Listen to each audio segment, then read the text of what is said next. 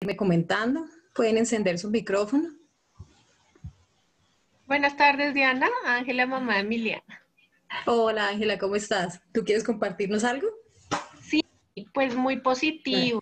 Realmente yo creo que el cambio también ha sido por parte mía con mi chiquita y evolucionando en cómo comprenderla y hemos estado tranquilos, hemos estado tranquilos, hemos estado, yo creo que ha cambiado muy positivo eh, por parte de las dos y obviamente de parte mía dándole como otra forma y, volteando, así como dicen coloquialmente, la arepa. Entonces, ha servido, ha servido muchísimo todo, todo este, este proceso que llevamos. Sí, señora. Qué bien. Me alegra muchísimo. ¿Has podido como identificar las vasijas en ella, en ti, en los miembros de la familia? ¿Ha sido ese como un ejercicio útil y fácil de hacer? Porque a veces como que uno se va con una idea y resulta que en la práctica eh, lo ve o muy fácil o a veces le cuesta un poco de trabajo. Bueno, muy buenas tardes para todos. Bueno, hola, bienvenida. Gracias. Un tema del lado mío, el tema de la confianza, ¿no? El tema de, la confianza y ya, y... Mm, y ahí vamos, ahí vamos identificando por cada uno. Ahí vamos qué poco bien. Así, señor. Qué interesante, qué chévere. Gracias, Ángela. ¿Alguien más quiere comentar?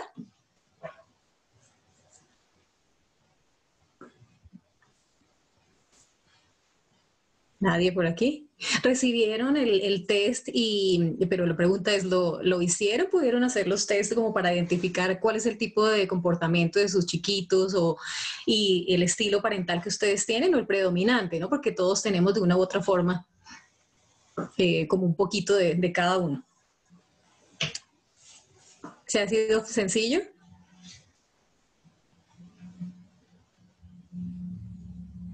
A veces con, no sé si es que no. Veo que tiene silenciado el micrófono. Dianita, sí te estamos escuchando. Lo que pasa es que ah, estamos, estamos animándonos a saber cuál, quién participa, quién... ok, ya estaba pensando, dije, silencié, lo silencié, ¿qué pasó? yo por eso te digo, pues porque queremos escuchar es a los papitos, no a nosotros. Claro, sí, claro. ¿Alguien más nos quiere compartir de pronto de, algún, algún cambio en la familia? Yo primero quería, bueno, sí, voy a comentar el tema del cambio en la familia. Este, pues nosotros con Joaquín, eh, pues la verdad es que, bueno, en mi caso yo eh, tomé una decisión en este momento y, fue eh, para conectarme mucho más como con el desarrollo de, Joaquín, pues yo tomé la decisión de retirarme de mi trabajo porque eh, pues yo veía a Joaquín como, como muy en su proceso, muy, muy solito realmente con todo, este, con todo este tema pues de pandemia y demás.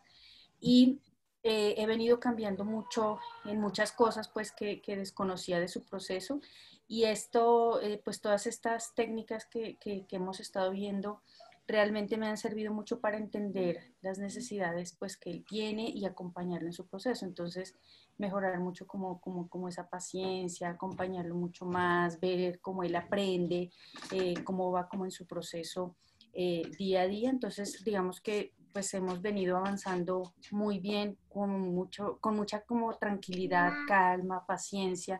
Aquí se me coló. Eh, pero, pero muy, muy contenta realmente de, de, de, entenderlo mucho más en su, qué es lo que necesita y acompañarle, acompañarle, ese, eh, irle identificando como, como cuál es la vasija pues que necesitamos ir como, como llenando. En el caso de él, él siempre dice, no me dejes solo, no me dejes solo, es como siempre como, como que se siente muy, muy solito, entonces hemos, eh, he venido identificando pues como eso en él. Y, y, y también, eh, pues no sé, quisiera de pronto también descubrir cómo más le puedo ayudar para que él pues no sienta que, pues, que, está solo, porque pues estamos con él, pero de pronto algo pasa que él todavía siente pues como, como que no, no está suficientemente acompañado. Entonces estamos trabajando eh, pues en eso con todas estas técnicas.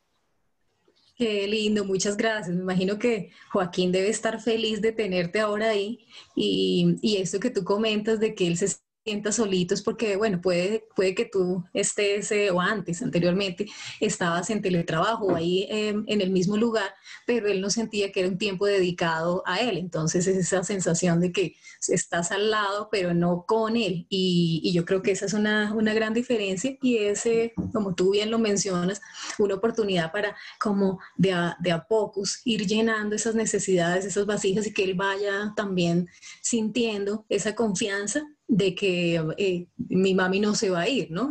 Ya, ya, no es como antes, sino que va, va a estar acá conmigo. Y, y, me imagino que debes haber descubierto cantidades de cosas que antes, por cuestión de tiempo, no por falta de interés, no habías podido eh, como identificar y, y, como esos momentos mágicos con él de que mira que él ya hace eso, piensa así. Y esas como es, esos tesoros que uno encuentra con los hijos que no hay manera de, de reconocerlos si no es en las actividades cotidianas y compartiendo tiempo. Entonces, yo creo que va a ser una, una muy buena oportunidad para ti y al mismo tiempo un reto, ¿no? Porque si vienes en un eh, esquema de, de, trabajo y ahora dedicarte a la familia, a pesar de ser algo, algo lindo y que lo hiciste precisamente pensando en él, que es lo más importante, el ajustarse a una nueva realidad y a cualquier cambio, pues siempre genera un poquito de como, como de inestabilidad emocional en uno, pero, pero bueno, estoy segura que vas a ver los cambios súper positivos y, y, es importante que te des como esa,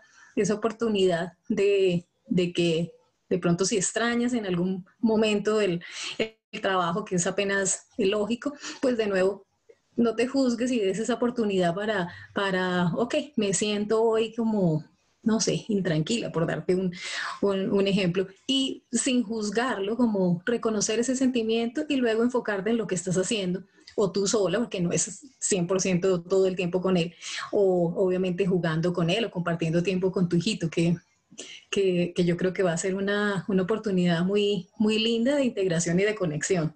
Muchas gracias por compartir. No sé qué, yo ya tengo las, eh, si ustedes me ayudan, 5 y 10. Listo, no, no. 8, no. perdón. 8. Iniciemos, Diana, iniciemos porque siempre lo hemos hecho así. Exacto, sí. Sí, darles un saludo a todos los papitos que ya, ya se han conectado. Estábamos aprovechando el tiempito mientras los demás se conectaban. Diana estaba haciéndole pues unas consultas a los papás que han ido aplicando todo lo que ella amablemente nos ha compartido y nos ha enseñado y las herramientas que nos ha brindado para el trabajo y para, para esta labor que tenemos de, de, de, de formar y, y, hacernos mejores papitos para nuestros chiquitos. Entonces, no, Diana, sigamos, sigamos, continuemos okay, y buenas tardes listo. para todos. Buenas tardes. Diana, la mamá, eh, perdón, Vanessa pidió la palabra. Ok, sí, claro, Vanessa, dime. Vanessa. Ah, ¿me escuchan? Sí, sí, sí, sí, ahora sí te escuchamos. Diana, buenas tardes, ¿cómo estás? Pues súper valiosa toda la, la, información, hemos tratado de ser súper juiciosos.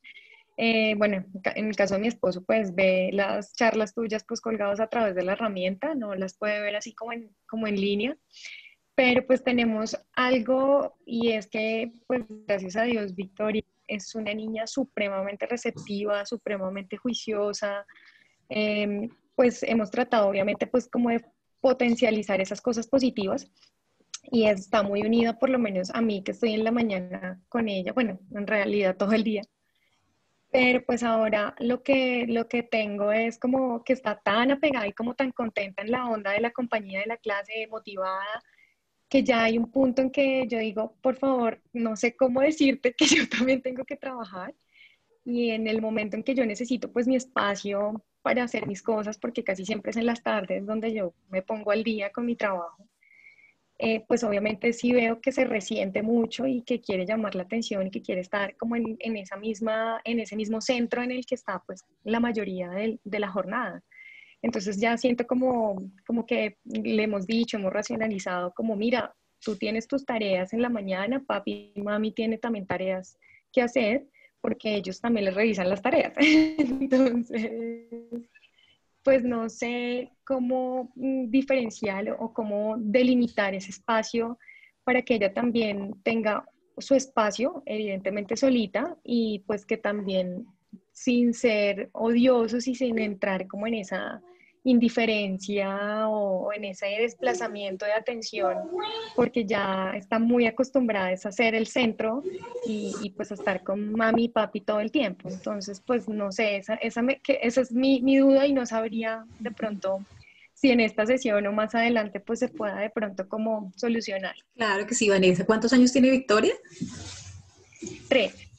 Tres, claro, es que ella está todavía en esa, en esa etapa donde necesita muchísimo acompañamiento, ¿no? Porque es con el, con el crecimiento que ellos se van independizando como de poquitos no es de un día para otro, pero sí muy poco a poco, y, el tenerlos ustedes todo el tiempo ahí, contar como con alguien para sus juegos y para cada, cada cosa que hace, es eh, como el ambiente que ella quisiera mantener el resto del tiempo. Como tú dices, que le han explicado con que ustedes necesitan hacer tareas igual, convendría mucho, no sé si recuerdas que, que lo hicieras con un reloj, si tienes como un relojito de arena, a veces para ellos es más fácil de esa manera, o si no, con uno digital y le dices, mira, mi amor, vamos a jugar de esta hora a esta hora a lo que tú quieras o bueno, lo que tú tengas destinado y luego eh, cuando ya cambie la, la, hora, ya mamá va a estar muy, muy, muy concentrada en esto otro. ¿Listo? ¿Tú crees que puedes hacer eso? Vamos a hacer ese trato.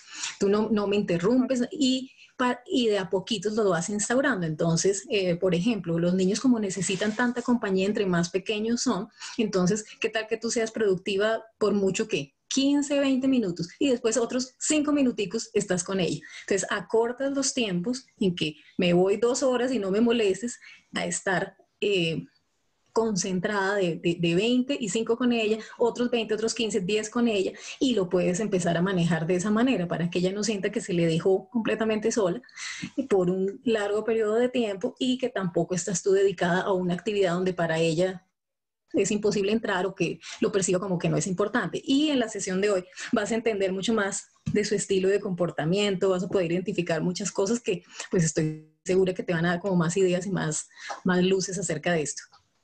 Super Diana, muchas gracias. Listo, con mucho gusto. Vamos a empezar entonces y... Un momentito, es que no quiero que se vaya a ver oscuro aquí. Encender una lucecita acá. Dicen a ver si de pronto, de pronto hay mejor. Ya como todos eh, hicieron, o bueno, si no lo han hecho, lo pueden hacer luego también. El, comportamiento eh, de sus hijos y el parental, entonces vamos a entrar en eso para ver de qué se trata, pues de tal manera que para todo sea claro eh, un poquito más profundo ese, pero se van a ir identificando una vez los vayamos viendo con lo que hicieron en el test. Vamos a empezar, ahí se, ustedes se dan cuenta que están distribuidos en, en tres de, de padres y tres de hijos. Entonces vamos a empezar con el padre voluntad. ¿Cuáles son esas características de estos padres? Son padres directivos que dan órdenes, ellos saben eh, cómo hacer las cosas y dicen exactamente cómo se deben hacer.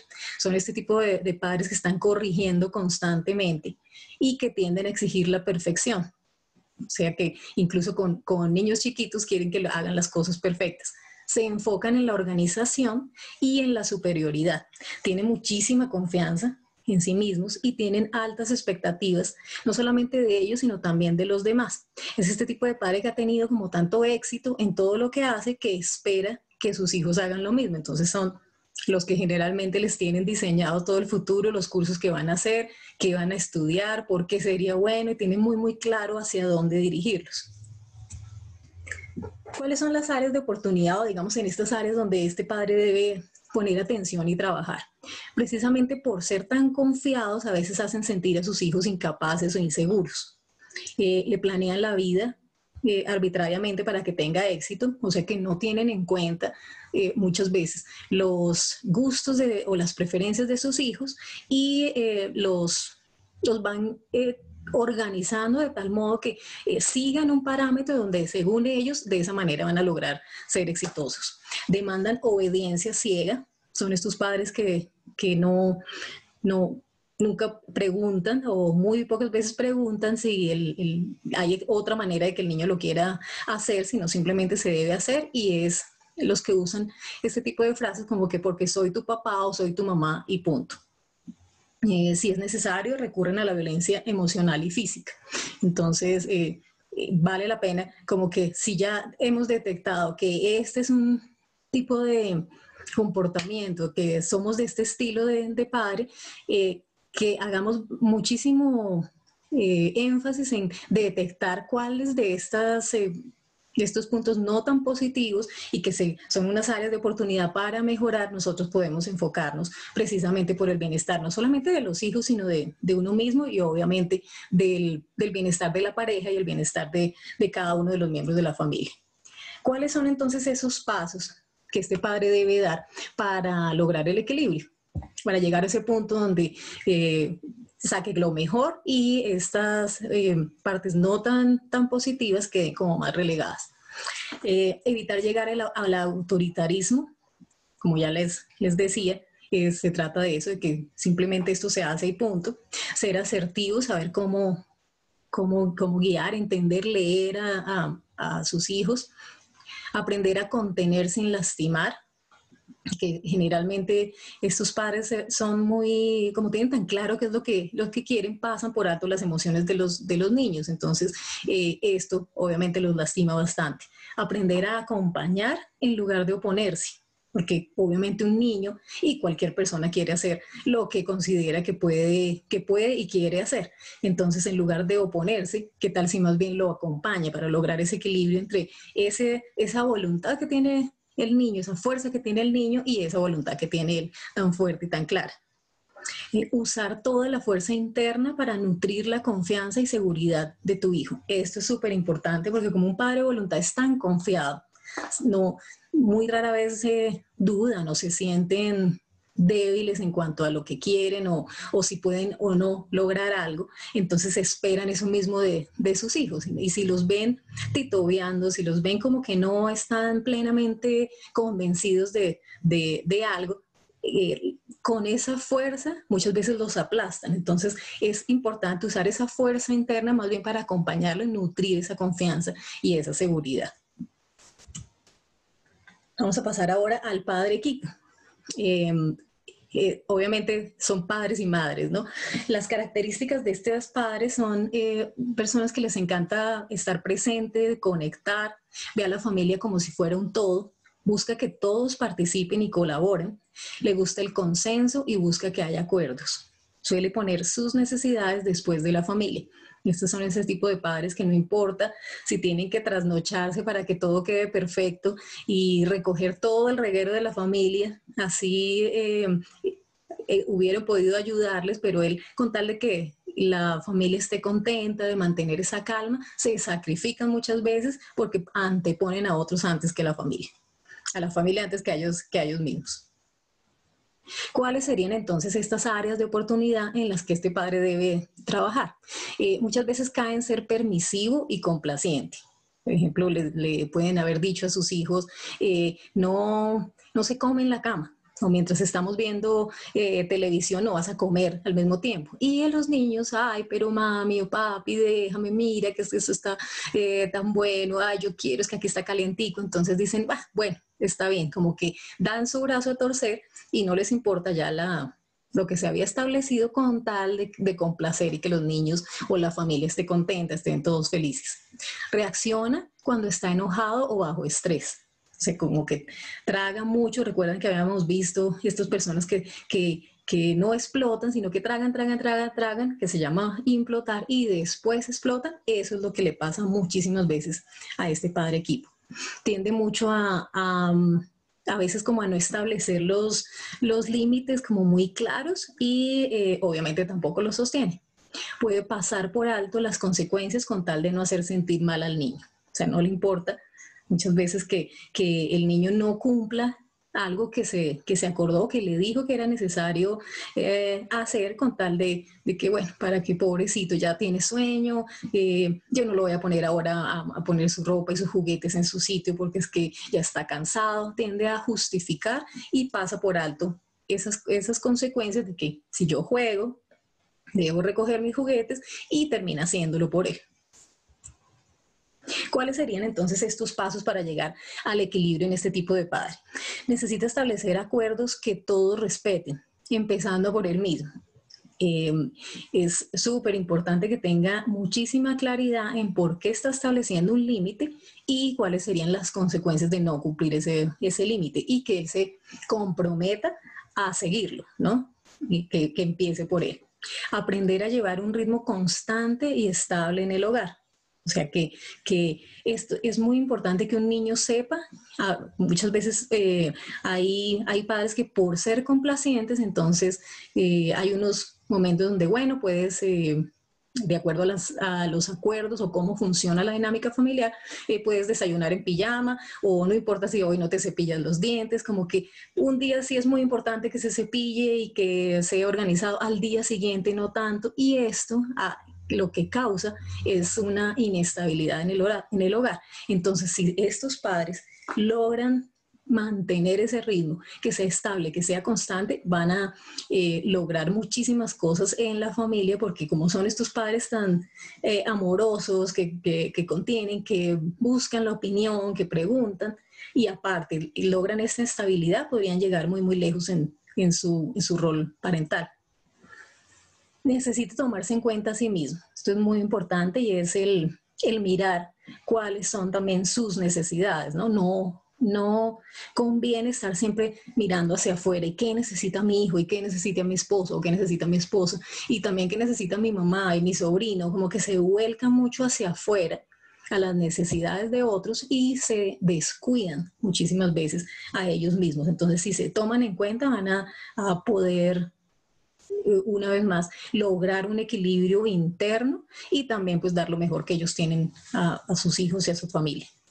Y es súper importante no aprender, que ellos puedan aprender a no pasar por alto sus necesidades y apoyar al hijo cooperación, que es el que tiene este mismo eh, características similares, a hacer lo mismo, a que este hijo no por complacer a otros termine también eh, de una forma inconsciente olvidándose de sus necesidades.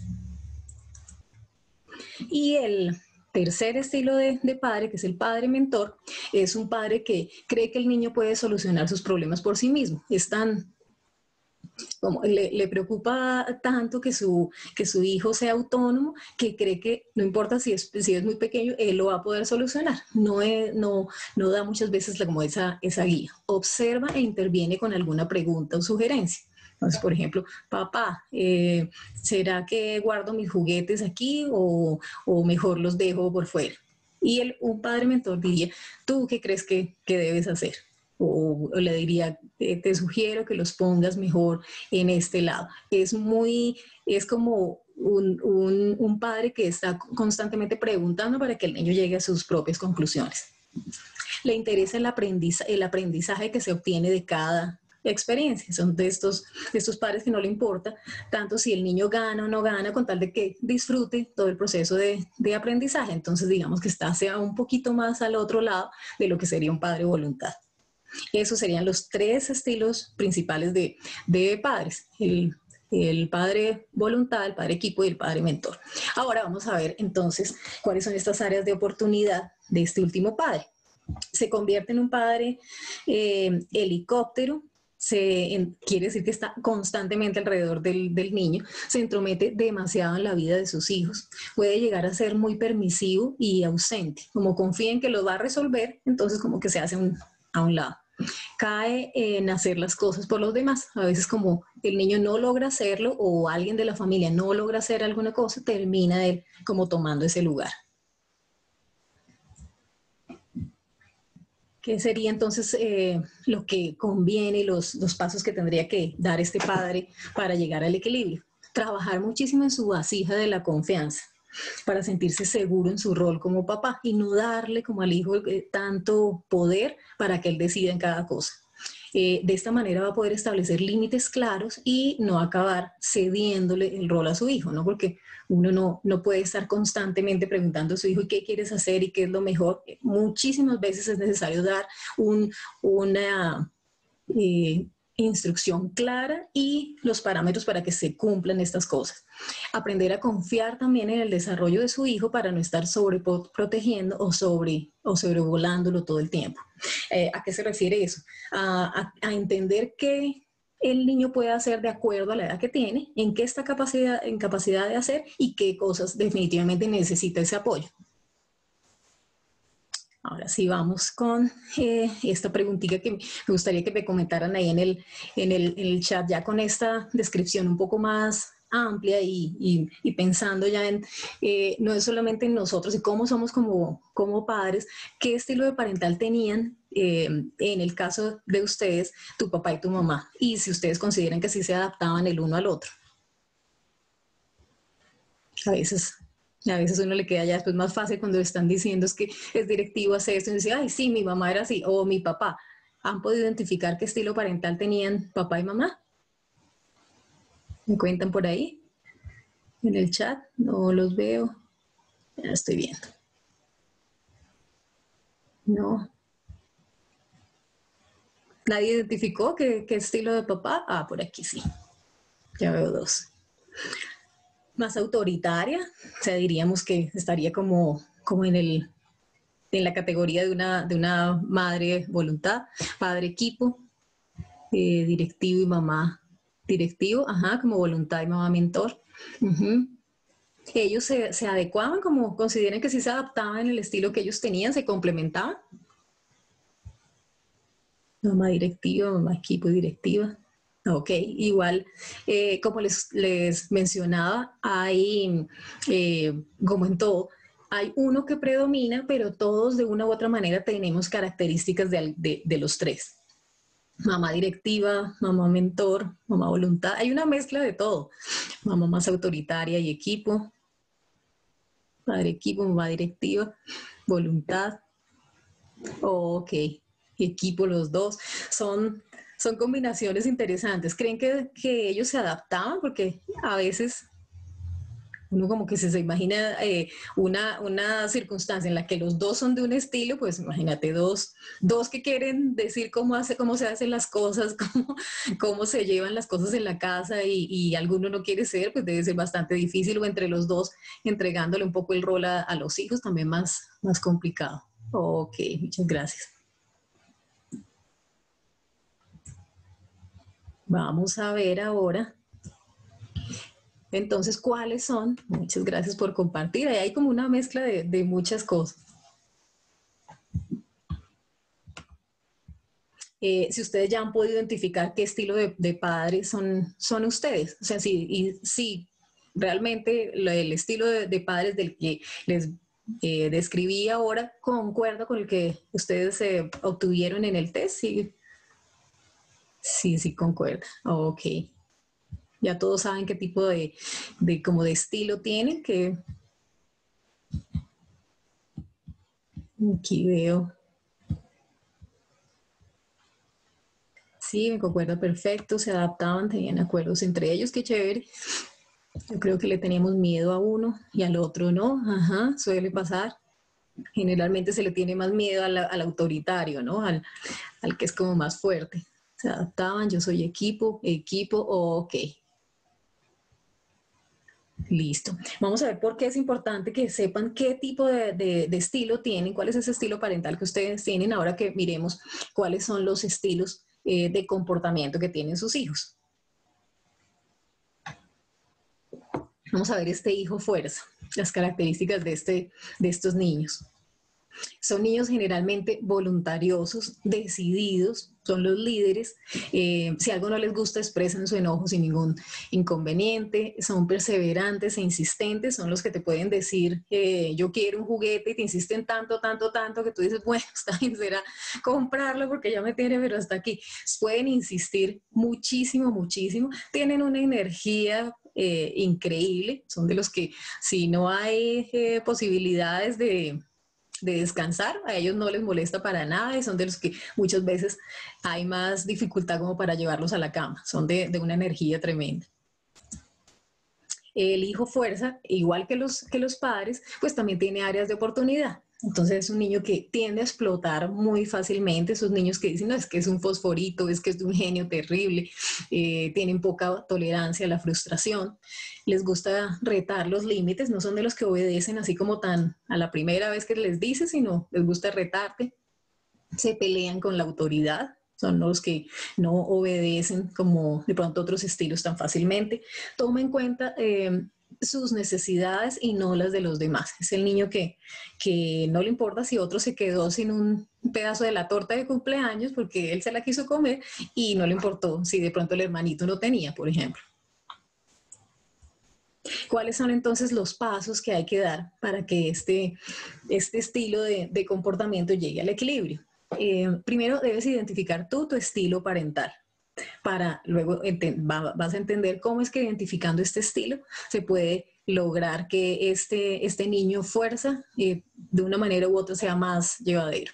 Enseñarle a canalizar sus emociones, como son niños que explotan tan fácilmente y que expresan eh, todo, no solamente el enojo, sino la tristeza, la alegría, pues de una manera muy, muy intensa. Entonces es importante enseñarle a canalizar sus emociones, sobre todo esas que generalmente causan como a veces incomodidad y dificultades como, como el enojo o el, el que hagan berrinches, este tipo de cosas. Toma en cuenta sus preferencias y dale opciones para que pueda elegir como hemos conversado eh, antes, para un niño que es de otro estilo de comportamiento, muchas veces si le dices, ponte esta pijama, se lo va a poner, no va, no va a, generar ningún tipo de resistencia. Para un, niño, un hijo, fuerza, el no tener la opción de, de ponerse, por ejemplo, lo que quiere, se puede convertir en un gran eh, problema. Entonces, si ya sabes que tu hijo es fuerza, dale eh, la opción de, de elegir, tomar en cuenta esas preferencias, como, bueno, yo sé que te te gusta mucho ponerte tu camiseta de Superman, ok, póntela sin, sin entrar en esa lucha de poder. Y ayúdale a desarrollar la resiliencia, porque obviamente son niños que eh, como quieren hacer eh, siempre lo que a ellos les, les gustaría, es más difícil para, para ellos eh, comprender esto que todos en la vida tenemos que pasar por ahí y es de ver que no todo en la vida siempre es lindo, sino que todos pasamos por dificultades, pero tenemos la capacidad de sobreponernos a ellas. Vamos a ver ahora cuáles son las características de este, del segundo estilo de comportamiento, que es el hijo cooperación.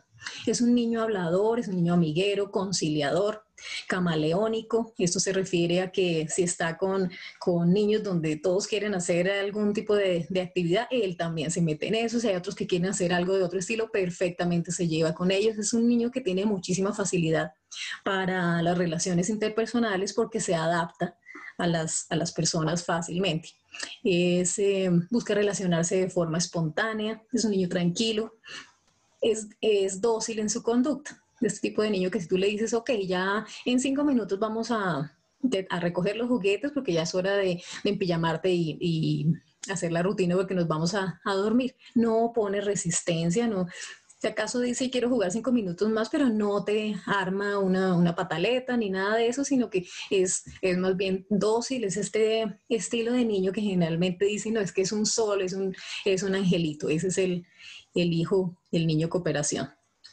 Sin embargo, pues como todo, pues eh, tiene unas áreas en las que pues vale la pena mirar cuáles serían esas áreas de oportunidad.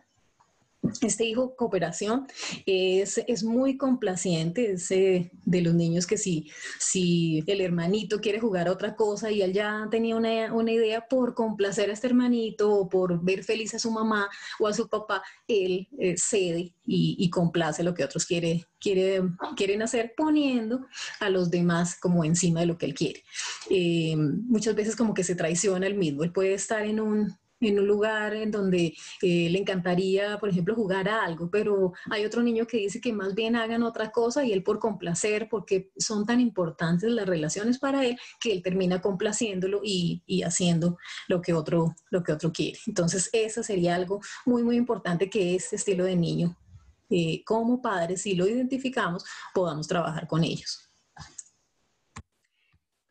¿Cuáles serían entonces estos pasos para llegar al, equilibrio?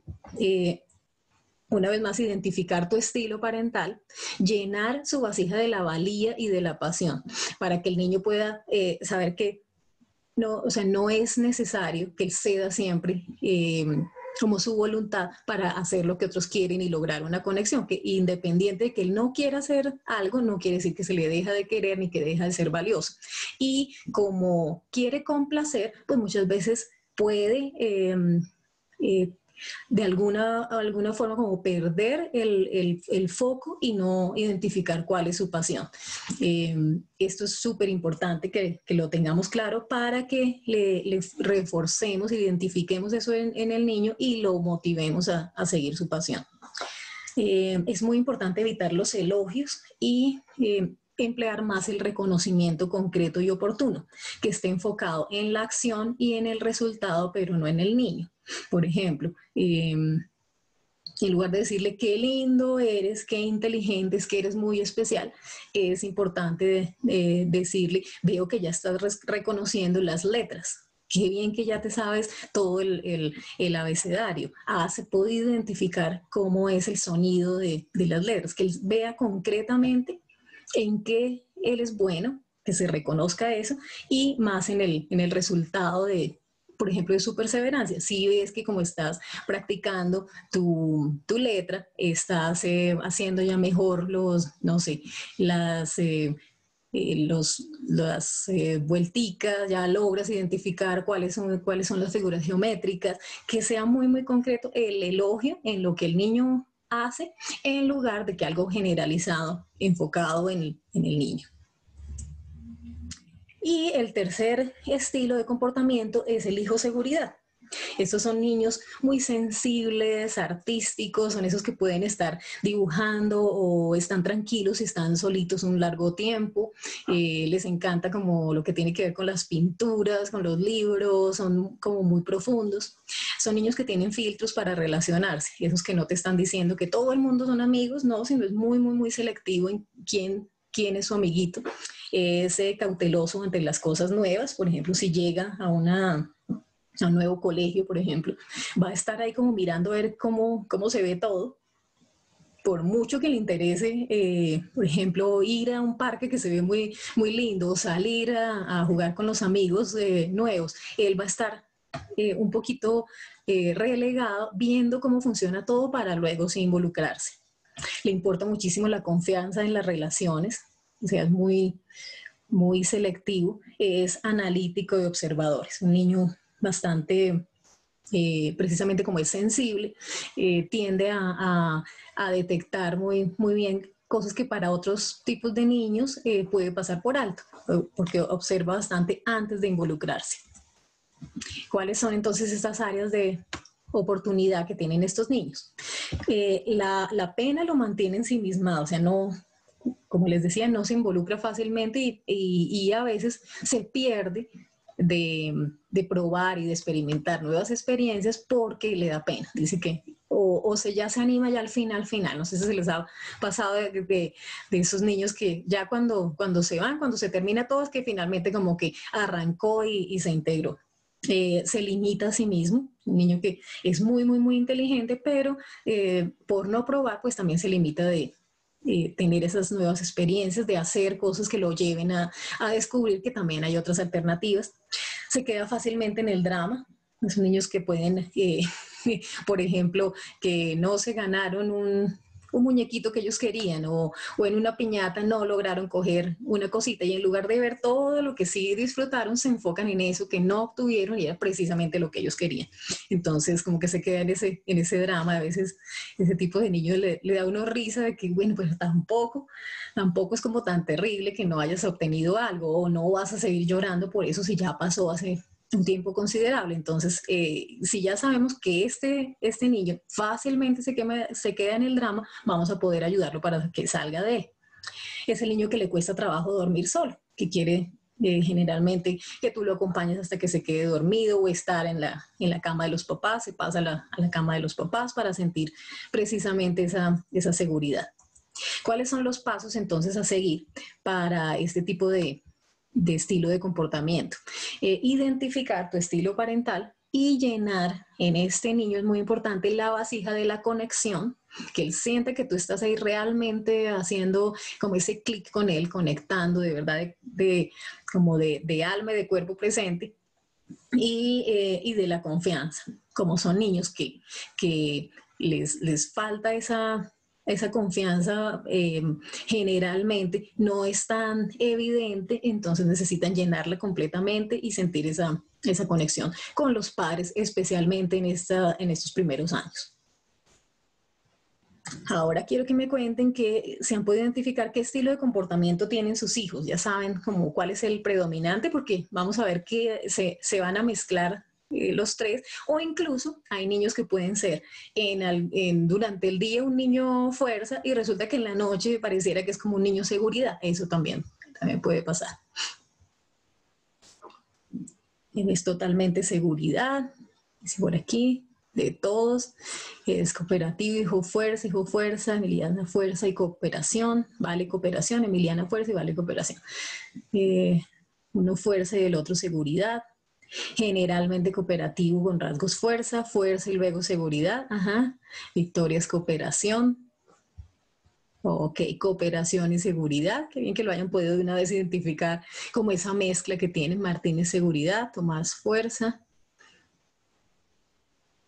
Hijo seguridad, fuerza, cooperación, cooperación y seguridad.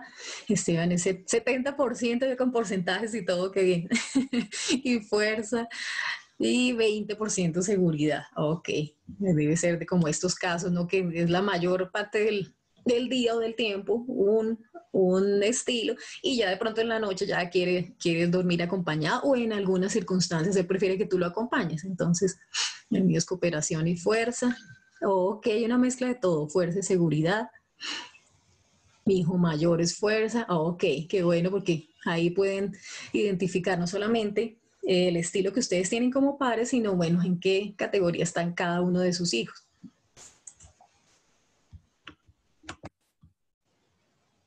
Vamos a ver entonces cómo es que funciona esto y por qué decimos que existen estos tres estilos de, comportamiento, de dónde salen.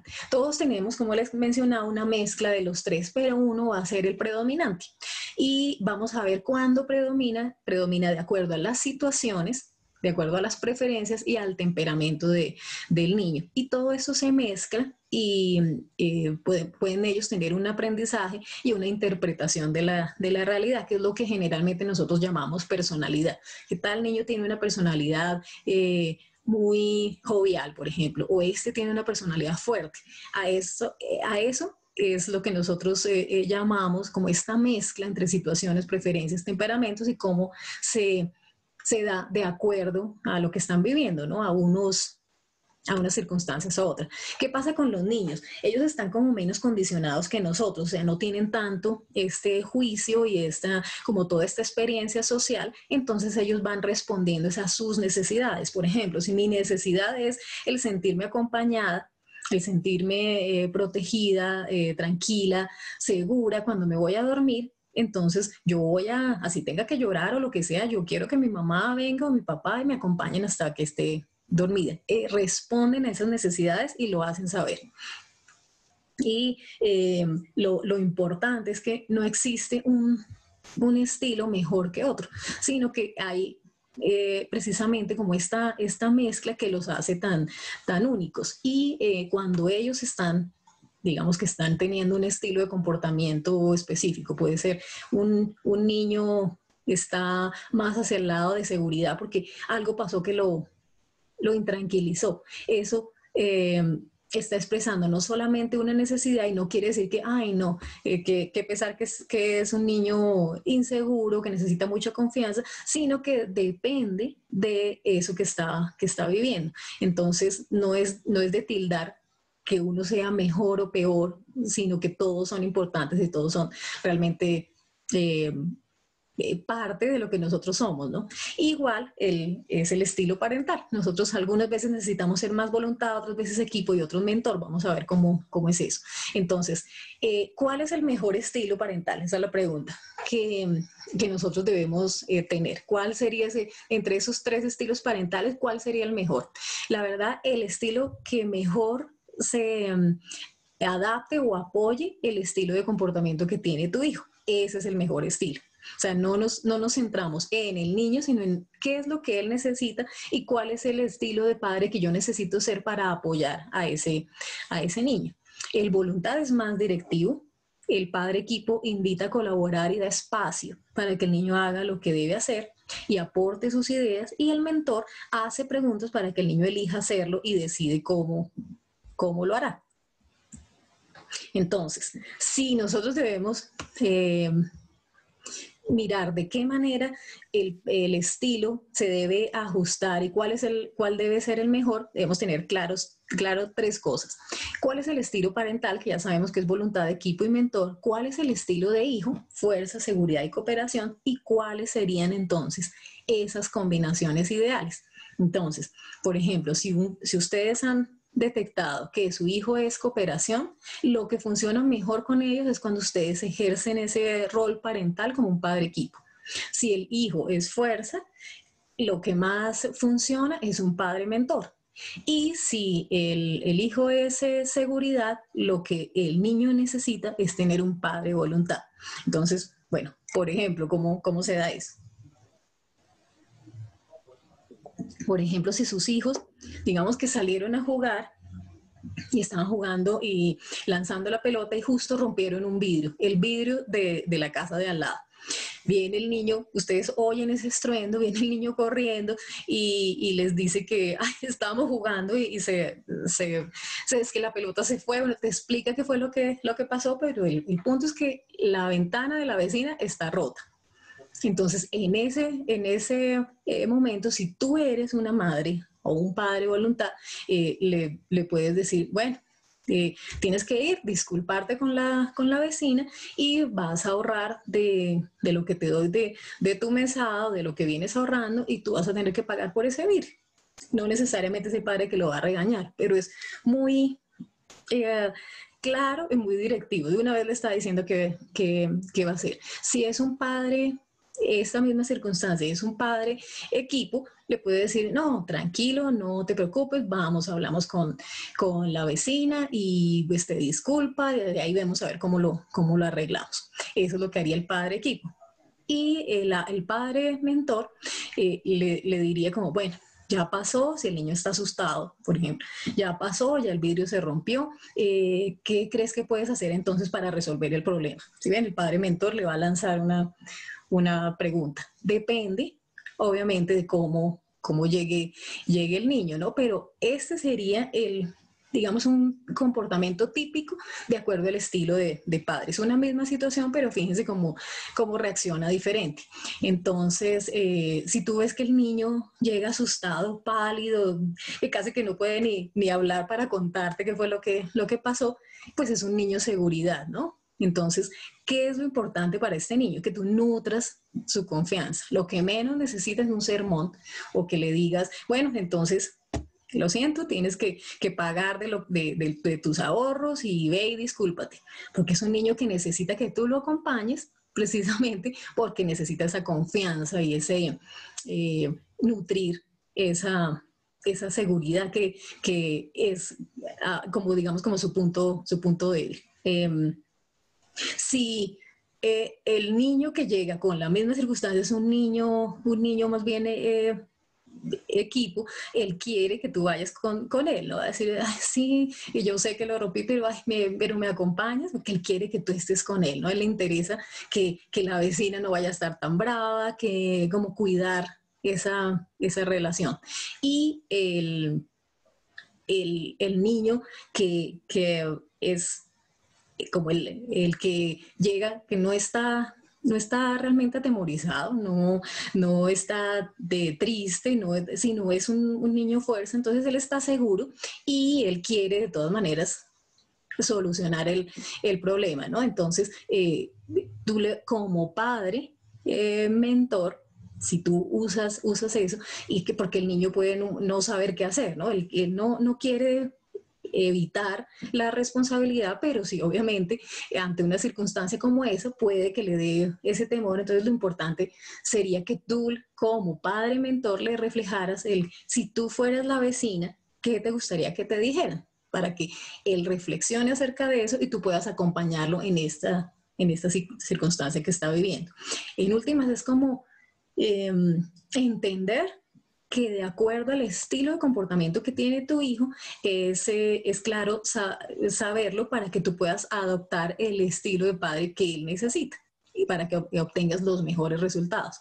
Entonces, digamos que lo que define nuestra, habilidad para enfrentar los retos es esa seguridad interna que tenemos, ¿no? Como el, saber que podemos sobreponernos a las dificultades, que podemos hallar una solución ante una situación que puede ser compleja como esta en, este caso, y en nutrir y acompañar a nuestros hijos en esto que, que ellos necesitan. Entonces, por eso es que se habla de estas combinaciones ideales.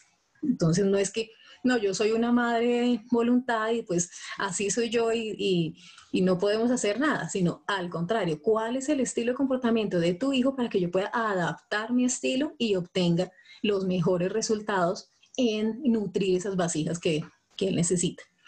Entonces, eh, por ejemplo, cuando hay un padre equipo y un hijo cooperación en esta, esta combinación, eh, que es de las combinaciones ideales, entonces el niño cooperación suele ser muy complaciente y por eso es importante que no aplastar su individualidad, convertirte en el padre que logra que su hijo coopere al tiempo que se siente respetado, amado y valorado. O sea, es muy, muy clave y muy importante establecer y darle las líneas claras y las opciones de cómo realizar esa tarea para que no sea imponer.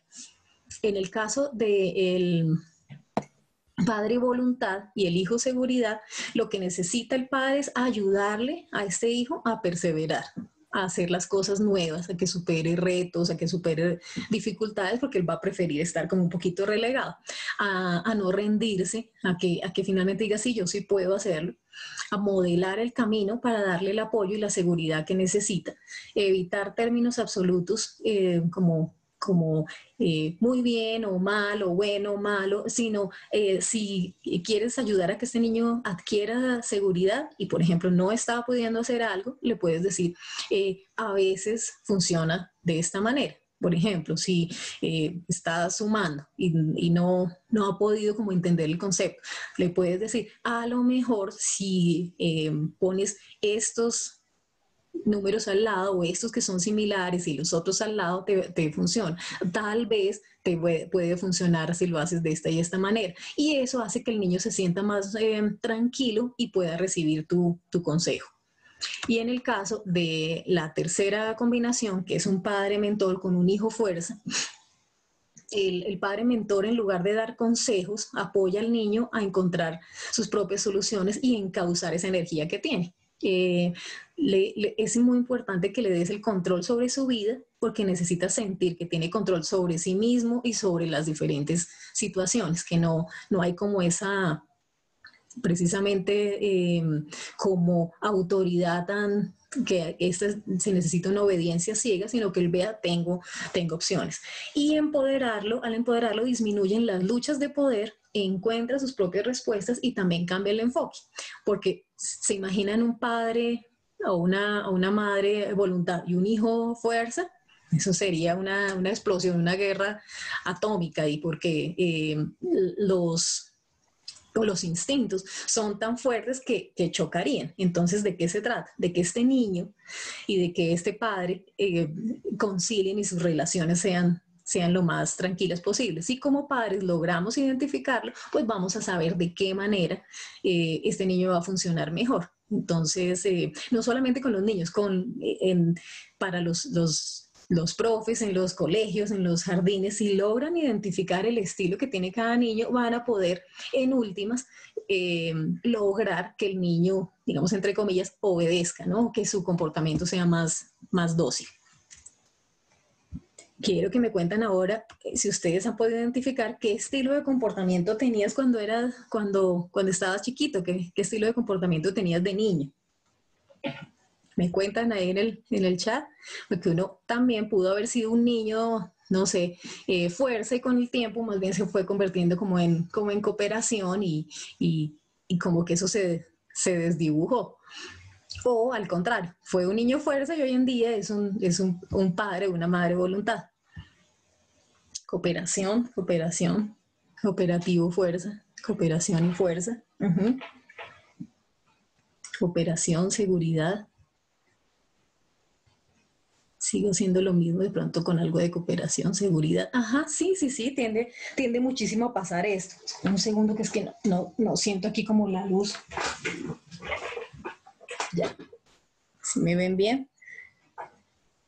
Niña fuerza y ahora soy padre equipo. Ajá. Ok, lo han logrado identificar. Creo que ahora tiene como más. Fui muy cooperación en algún momento, empecé a hacer más fuerza. Ajá. Depende, obviamente, no con las circunstancias que vivimos en la vida, ¿no? Igual que, que, que, que miramos qué eh, tipo de, estilo necesita mi hijo en este momento, a nosotros nos ocurre exactamente lo mismo. Cuando el tiempo pasa, nos dice, no, yo no puedo seguir siendo eh, seguridad, me toca sacar como toda esa fuerza interna que yo tengo. Fuerza de niña y cooperación ahora. Hoy de mamá más bien voluntad y equipo. Ajá, fue niña seguridad y ahora soy equipo. Ok, qué interesante. Empecé a hacer los, los estilos, igual que, que como todo en, en, la vida, se da y se mm, modifica de acuerdo a las circunstancias que vivimos, como a los retos que nos impone la vida, ¿no? No, no todo nada es estático, ¿no? Era más, es más, eh, eh, es como una cuestión más orgánica, todo constantemente está cambiando y eh, lo que suele pasar es que sí se mantiene como una característica predominante, pero, pero obviamente hay, hay espacio para, para el cambio y pues de eso se trata, ¿no? De que podamos avanzar también y integrar, ojalá pudiéramos integrar como todos los beneficios de, del diferente, los diferentes estilos. ¿Qué estilo parental te hubiera gustado que tus padres hubieran tenido contigo? Porque ya identificamos, ok, si yo, no, yo era más bien una niña cooperación o yo era una niña voluntad, ¿qué estilo parental te hubiera gustado? Pueden contar ahí, si lo, lo logran ubicar.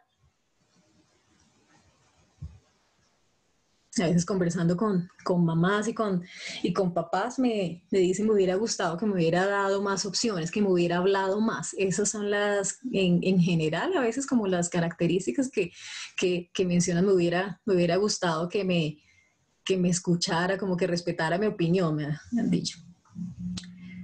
De seguridad, mamá. Aquí ah, mi esposo me dice que nunca tuvo una imagen de mentor que él siempre sintió necesitar hoy se volvió mentor de nuestro hijo mayor, que es muy fuerte y la verdad se nota.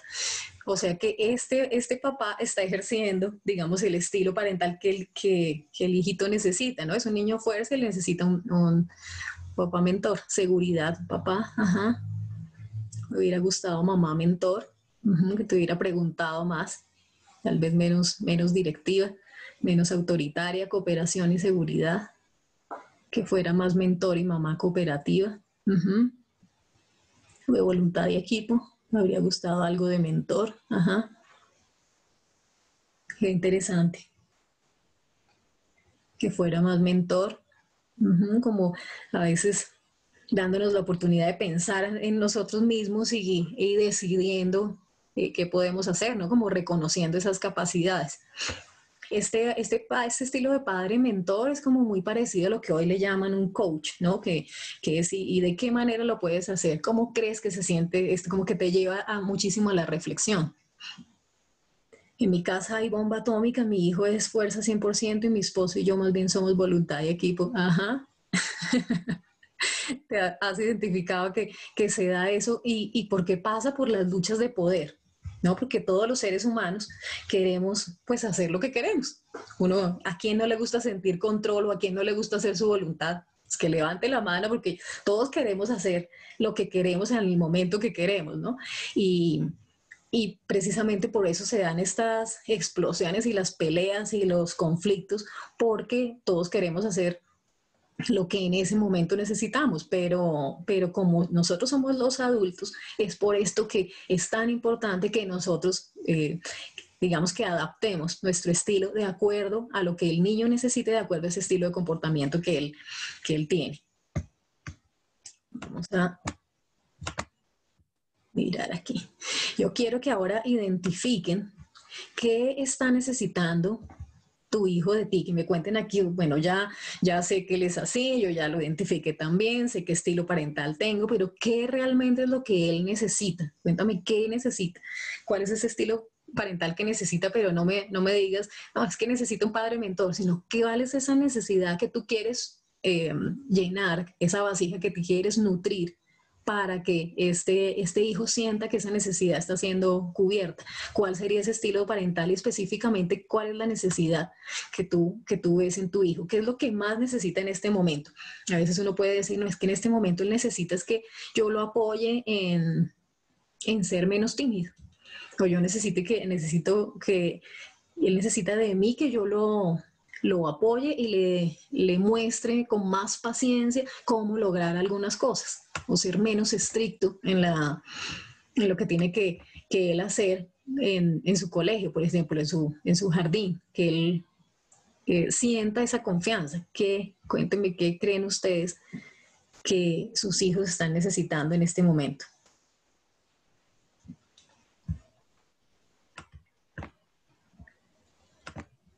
No sé si... perdón. No lo veo. Pues que no me han contestado. Ok. Aquí dicen eh, voluntad de... Eh, tengo una pregunta. ¿Qué pasa con la compatibilidad de padre y madre en la educación de, del niño? Si me puedes decir exactamente qué, a qué te refieres con compatibilidad, como aclárese eso, o sea que si cada uno de ustedes es eh, como un estilo de padre diferente. Obviamente en las en la educación de los, de los hijos, pues no, no tenemos que ser, que ser el mismo estilo de padre. No, no se trata de eso. Necesita de nosotros voluntad y mentor. Que sea mentor porque le puedo dar más confianza en sí mismo. Ok. Interesante. Emiliana y Valeria necesitan que yo las apoye, que les dé más atención, más cariño. Necesita de nosotros voluntad y mentor. Mi hijo necesita confianza. Ajá, qué interesante. Mi chiquito es fuerza necesita una actitud más de mentor y mi otro chiquito, el mayor, necesita más voluntad. Ajá. Mentor y equipo. En lo que me dicen acerca de la compatibilidad, creería yo que, eh, si me puedes decir ahí, Doris, eh, si te refieres a que cada uno de ustedes tiene un estilo parental eh, diferente y pues cómo hacer para que en esa educación no haya como, como esa distorsión, ¿no? De que mamá dice una cosa y papá dice otra.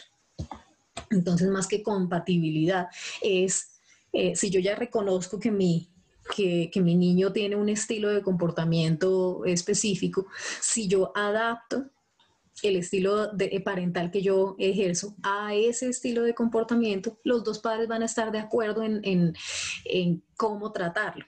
El punto aquí y que es súper, súper importante es eh, eh, ponerse de acuerdo y eh, no, no pasar el uno sobre el otro, ¿no? No, no estar transgrediendo o, o, estar derribando como los acuerdos o las reglas que uno de los padres estableció. Por ejemplo, si un papá dice,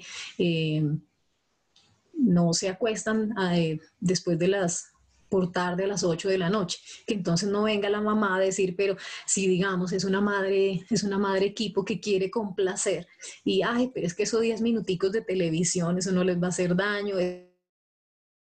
Ese sentido sí sería algo en lo que deben ponerse de acuerdo, pero si eh, los dos están eh, en un solo como en un solo sentir en que qué es lo que quieren para sus hijos, que aquí es donde está el, digamos que como la raíz, el fondo del asunto es que si yo quiero, eh, ¿qué es lo que yo, lo que yo quiero formar y cómo lo vamos a, a conseguir? Va a ser más fácil que ustedes se pongan de, de acuerdo, ¿no? Que, que, que, logren como esa, ese punto, ese punto de equilibrio. No se trata de que se haga lo que un padre quiere o lo que quiere el otro, sino qué es lo que ese niño necesita y cómo nosotros como padres vamos a lograr ponernos de acuerdo por el bien de, de nuestros hijos.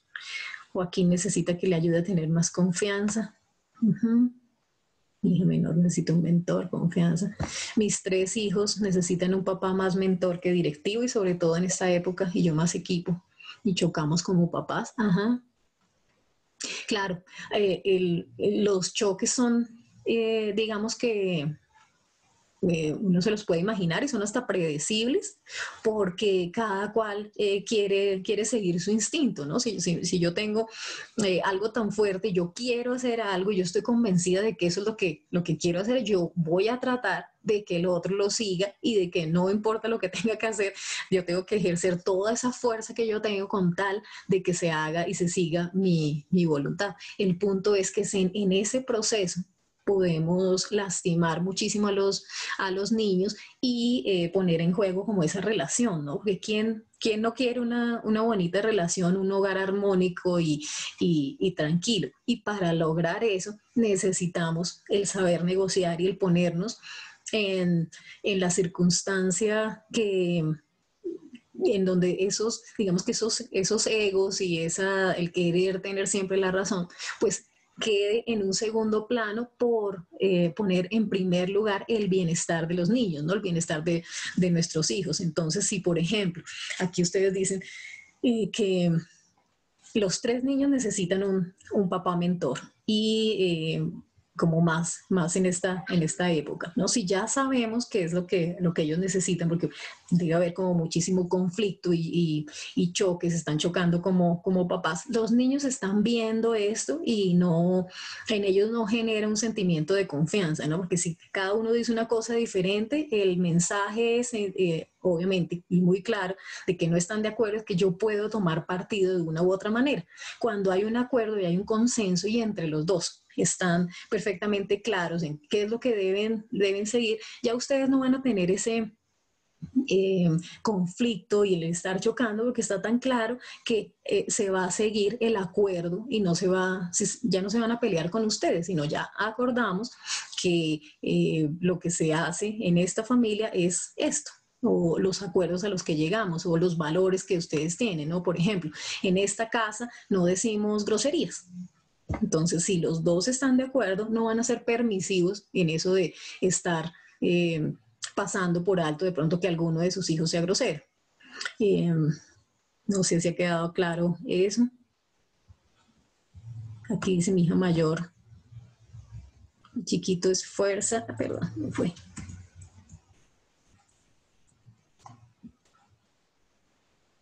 Aquí están diciendo. Eh,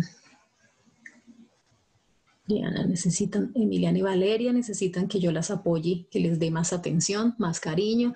Ajá, de pronto tú eres más una, una madre como hacia el lado de, de, voluntad. Entonces, si ya has identificado eso, eso en ti, eh, qué, interesante estar más como esa, esa madre, esa madre equipo, ¿no? Como el, el relajar un poquito las, de pronto a veces las reglas, ahí, yo no estoy diciendo que se deben romper las, las, las reglas, pero a veces es, es, importante ser un poquito flexible, ¿no? Cuando es un fin de semana o, o eh, bueno, no es que todos los días los niños tengan que estar perfectamente vestidos y, arreglados, como que se dé cierta, cierta flexibilidad que no comprometa una, pues el romper una, una, una regla realmente importante, ¿no? O sea, no, no hay ninguna razón que justifique que un niño sea irrespetuoso con sus padres, por ejemplo, que, que, que haga algo que los, que los hieras o que, que hiera las relaciones interpersonales o que trate mal a, su hermanito.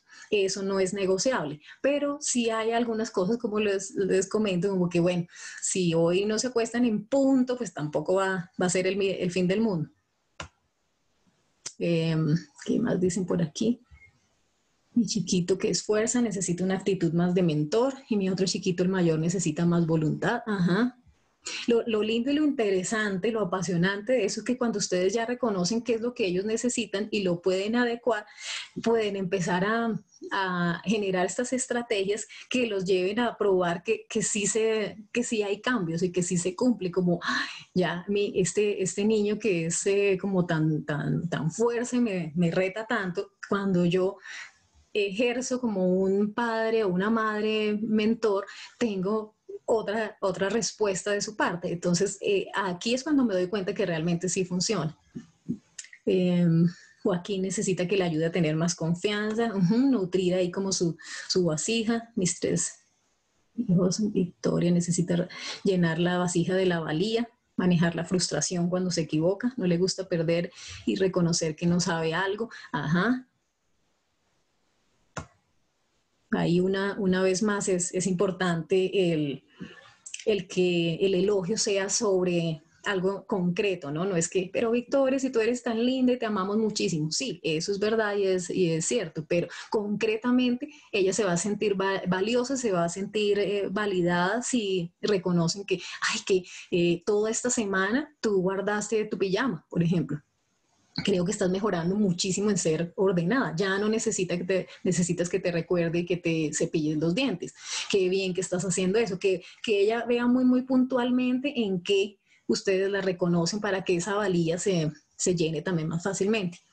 Gaby, necesita unos papás mentor. Ajá. ¿Con cuál estilo se maneja mejor?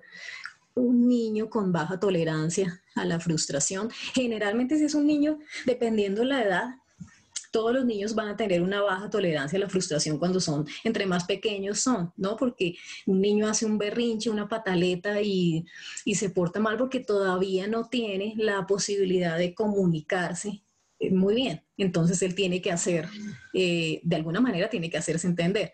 Entonces, eh, depende la, la edad, si ya va creciendo y se, se frustra, hoy podría, como más fácil, digamos que es más fácil identificar esto, como lo vimos, es un niño que podríamos decir es un niño fuerza. Entonces, ¿cómo hago yo para, para que este niño eh, fuerza sea más, más eh, eh, tolerante, como trabajar con él la empatía? Funciona muchísimo ese, en, en este tipo de cosas. ¿Cómo crees que se sintió tu hermanito cuando no le compartiste el lo que te habían regalado, cuando no lo dejaste jugar, dependiendo de la edad del niño, ¿no? Esto también funciona o de una u otra forma de acuerdo a la, edad. Entre más grandecitos son, lo van a entender más fácil y van a poder lograr esa, como esa empatía, esa capacidad de leer como lo que les pasa a otros, ¿no? Y, y esto se, se puede hacer muchísimo con cuentos, ellos pueden tener esa, esa capacidad de reflexionar acerca de las cosas cuando tú le cuentas, por ejemplo,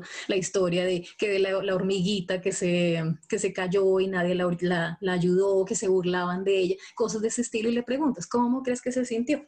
Esto ayuda a que se frustre menos porque eh, no solamente aprende de, empatía, sino que empieza a reconocer cuáles son los sentimientos de, de, otros que son los mismos que él tiene, ¿no? o que ellos que ellos tienen. Entre más reconozco yo mis emociones y mis sentimientos, más fácil va a ser que, que exprese qué es lo que me pasa, ¿no? Porque la frustración muchas veces, eh, o la mayoría de las veces, es esa incapacidad de expresar, de comunicar claramente qué es lo que me pasa. Entonces le ayudas a frustrarse menos enseñándole a que ponga en palabras lo que le pasa. Entonces, eh, por ejemplo, que se, se frustró porque estaban jugando y, y, y perdió y, lloró y de todo. Ok, mi amor, espérate un momentico, ¿qué, ¿qué, es lo que pasa? ¿Cómo, ¿Cómo te sientes? No, que el otro perdió, que el otro ganó, yo perdí, yo no sé qué. Ah, ok, y eso te da rabia. Ok, sí, sí, sí, te da rabia. A mí también me dio rabia cuando yo era pequeña. Le cuentas lo que te pasa a ti. Hoy en día a mí me da rabia cuando se me olvida, por ejemplo, comprar algo. Y le, le vas dando eh, ejemplos para que sus emociones en la medida en que las reconozca, va a ser mucho más fácil identificar y transformar. Yo no puedo cambiar, no puedo transformar lo que ni siquiera he reconocido de mí. Entonces, eh, cuando van, van creciendo, cada vez es, es, muy lindo ese proceso de, de claridad como en el, en el pensamiento, porque va a poder salir de él los niños cuando entre más pequeños son están más egocentrados y solamente ven sus sentimientos. Y obviamente si esto es un estilo de, de, comportamiento voluntad, pues él va a ver primero sus necesidades y su, lo, que él, lo que él quiere y no va a ver la de los demás. Entonces es todo un trabajo de, de, paciencia, pero también como de muy concreto llevarle a que identifique primero sus emociones para que pueda eh, salir como de esos estados de, de frustración. Aquí he estado presente con mis hijos, me dicen que son muy consentidos, sobre todo Melanie. Eh, consentidos tendríamos que, mirar a qué se refieren consentidos, ¿no? A veces cuando son bebés, eh, que un niño no sea consentido, entonces es dejarlo llorar y que no importa, y, resulta que los bebés eh, lloran o piden atención porque son necesidades absolutamente legítimas y es importante suplirlas. Entonces, eh, dependiendo, lo importante es no es que te digan, sino cómo te hace sentir a ti eso ¿Qué, qué, qué te hace sentir que te digan que, que, tus hijos son muy, muy consentidos? Eso por un lado. ¿Y a qué se refieren con que son consentidos, no? Y, y mirar ahí tú, una vez más, apelar a esa sabiduría interna que tenemos y, y, decidir, nosotros, ok, ese tal vez lo ven como, como consentido, yo creo que estoy haciendo esto y esto y esto, o por el contrario, ¿por qué lo estarán diciendo? ¿Quién te lo dice? ¿Con qué? Depende de varias cosas, ¿no? ¿Qué, qué tanto peso tiene? Eh, no olvidemos que esa, como esa eh, escuela que traemos es que, los niños consentidos son los que no hacen no obedecen inmediatamente, los que no hacen exactamente lo que los padres dicen y pues hoy en día nos hemos dado cuenta que eso es eh, aplastar totalmente. Eh, la individualidad del niño, eh, afectar su, su, autoestima y principalmente no conocer de lo que los niños viven, ¿no? Estas etapas de desarrollo. ¿Es normal que un niño haga pataletas? Sí, es normal. ¿Es normal que un niño de seis años siga haciendo pataletas? No, no es tan normal, pero entre más pequeños son, pues hay cosas que se esperan por la edad. El punto es cómo los acompañas tú. Y una vez más, ¿cuál es esa claridad que yo tengo, esa eh, tranquilidad o como esa habilidad que tengo para eh, enfrentar los, los retos, ¿no? Esa eh, seguridad interna. Entonces, te vas a preguntar, como madre, ¿yo qué quiero? Y como, o como padre, ¿qué quiero? Tengo esa tranquilidad, esa seguridad interna que me va a permitir resolver los retos que se me, se me enfrentan. Si tú te sientes seguro, si tú te sientes bien, vas por buen camino. Si hay algo en lo que dudas, busca ayuda, pregunta. Eh, o mira, si estás queriendo es, eh, no sé, de alguna manera agradar agradar a los demás y olvidar las, las necesidades que tienen los niños. Los niños, entre más eh, van creciendo, más se van a ir distanciando de ti. Entonces, eh, yo creería muchas veces que eso de que los niños consentidos a veces se confunde con un niño mal criado, ¿no? Con un niño irrespetuoso. Y, y de pronto si son consentidos porque quieren que tú los, los beses, los, los apapaches, los acompañes, pues es que están en esta etapa preescolar donde eso es lo que necesitan, ¿no? Yo creo que nunca es de, demasiado los besos, los abrazos. Yo no creo que eso sea consentir a, a, un niño. Es, eh, es más como seguir ese instinto que tú tienes. Diana, por ejemplo, ahí no, no sé si eso vale y es válido. Una vez, pues con Sandra, con Sandra, nuestra psicóloga, ella decía, el consentir siempre lo vamos a necesitar, incluso todos, todos los adultos. Nosotros cuántas veces no queremos, así siendo adultos, que nuestra mamá nos abrace, nos acoja en algún momento. El, yo digo que la línea como pequeñita es entre consentido y complacido, caer ahí, en que uno los puede consentir, pero bueno, ¿qué tanto estoy consintiendo o complaciendo? Y la, pienso que es como lo que hay que diferenciar, no sé, tú me corriges si es eso lo que, lo que suele suceder. Sí, sí, sí, claro, no, tienes toda la razón. Ese, por ejemplo, ese, si un niño quiere dulces y ya, les, ya le compraste una, un, un chocolatico y ya después te pide una paleta y después quiere una torta, si tú eres un padre o una madre complaciente, ay, sí, por, ay, qué pobrecito, le vas a dar eso, pero si eres una, una, madre consciente de que eso no le hace bien, pues va a estar primero el bienestar, ¿no? Y, y, el no darle eso no significa que no lo estás consintiendo, estás haciendo algo por su bienestar. Entonces, es, sí, es importante tener tener esa, esa claridad porque de esa manera vamos a poder hacerlo mejor por ellos, ¿no? Y es muy, muy, muy... Eh, importante sentir esa seguridad de que como madres y como padres lo estamos haciendo bien.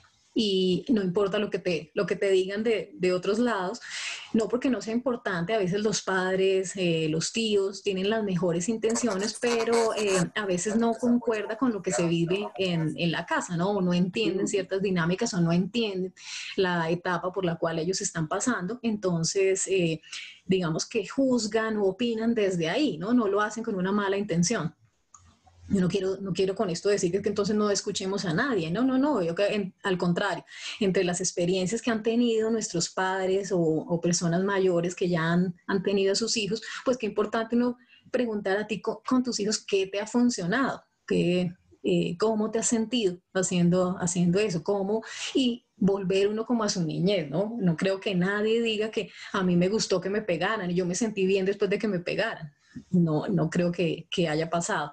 Que después con todo este discurso eh, de, los, de los padres por falta de recursos y de herramientas, es que lo hicieron por el bien de los hijos, pues eso ya es otro tema, ¿no? Pero si tú te, realmente te sinceras y dices y, piensas cómo me sentí, eh, aquí lo podemos ver claramente, ¿no? ¿Cómo te hubiera gustado? ¿Qué estilo parental te hubiera gustado? Y muchos dicen como un padre mentor. Y yo creo que eso es muy eh, lógico, especialmente cuando vamos creciendo, ¿no? Que, que nos ayuden a, pensar, que nos ayuden y nos devuelvan como esa, esa pregunta y, nos acompañen. Y como, como Liliana decía, todos queremos que nos consientan, que estén con nosotros, que, que conecten. Entonces, eso siempre va a tener buenos resultados. No sé si ya se terminaron nuestros ya los, los comentarios y ya para para terminar, quiero eh, contarles que eh, pues sería interesante si lo, si lo hacen, que esta semana eh, puedan anotar como y hacer básicamente cambios en el estilo parental. Ya teniendo en cuenta esto, lo van a recibir en su correo, van a, van a tener esto mismo ahí en el correo para que vean cuáles son esas características, uno poder verlo, tenerlo visualmente ayuda mucho y sobre todo llevar como una, ese diario, esa bitácora de los cambios que, que vean.